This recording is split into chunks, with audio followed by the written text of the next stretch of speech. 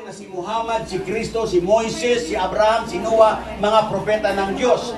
Naniniwala ako na may paraiso. Naniniwala ako na may impyerno. Naniniwala ako na ang lahat mamamatay. Darating ang araw ng paghuhukom. Ibabangon ng Panginoon ang lahat sa libingan at hahatulan ayon sa sarili niyang ginawa. So banggitin ninyo ng tapat sa inyong puso, mga kapatid, sabihin ninyo, Asyhadu alla ilaha. Illallah. Wa ashadu anna.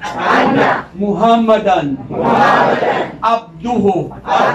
Wa rasuluh wa anna. Isa. Isa Ibnu Maryam. Ibnu Maryam Rasul. Rasul. Allah. Allah. Takbir. Allah Akbar. Yun lang mga kapatid.